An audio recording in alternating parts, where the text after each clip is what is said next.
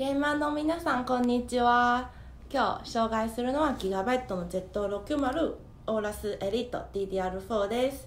でこちらおすすめの理由はこちら見てください。電源が大きいのやつと同じです。と放熱が4つついてます。とメモリはしっかり補強されてます。こちら見てください。こちらがついてるなのでしっかりつけられますタイプです。はい。ぜひ買ってくださいね。